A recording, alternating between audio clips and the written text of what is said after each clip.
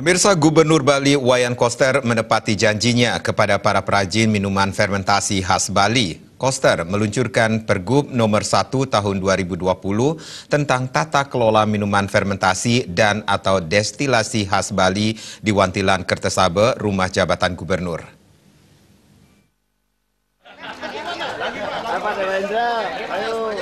Gubernur Wayan Koster menerbitkan peraturan Gubernur Pergub nomor 1 tahun 2020 tentang tata kelola minuman fermentasi dan atau destilasi khas. Gubernur Koster bersama Sekretaris Daerah Sekda Provinsi Dewa Made Indra menjelaskan latar belakang dikeluarkannya Pergub ini dikarenakan minuman fermentasi dan atau destilasi khas sebagai salah satu sumber daya keragaman budaya. Minuman ini dilindungi, dipelihara, dikembangkan, dan dimanfaatkan untuk mendukung pemberdayaan ekonomi yang berkelanjutan dengan berbasis budaya sesuai dengan visi Nangun Satker di Lokal Bali. Ruang lingkup peraturan gubernur ini meliputi pelindungan, pemeliharaan dan pemanfaatan, kemitraan usaha, promosi dan branding, pembinaan dan pengawasan, peran serta masyarakat, sanksi administratif, dan pendanaan.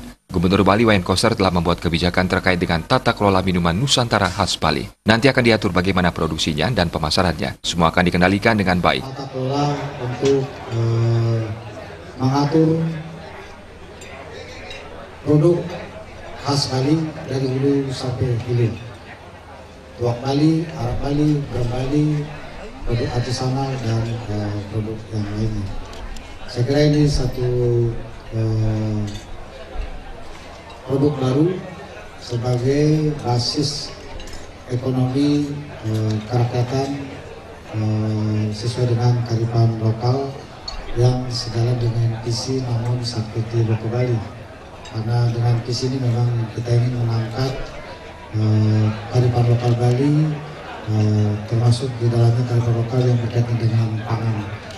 Betul, karena ditentukan di situ kalau uh, membawa produk ini harus ada surat jalan dari kepala desa atau itu pakar agama harus ada surat keterangan dari desa adat uh, untuk pakar agama juga ada batasan-batasan jumlah yang dipakai kemudian juga uh, harus ada kooperasi yang menangani ini sehingga terkontrol jadi tidak tidak bisa asal untuk uh, membawanya dan produksinya jadi harus terkontrol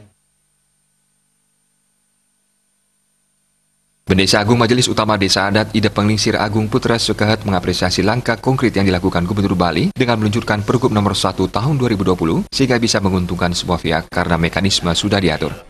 Yang ketiga, uh, di Bali ini yang dilandasi oleh agama Hindu, kalau minum minum minum beralkohol itu tidak dilarang. Yang dilarang adalah mabuknya.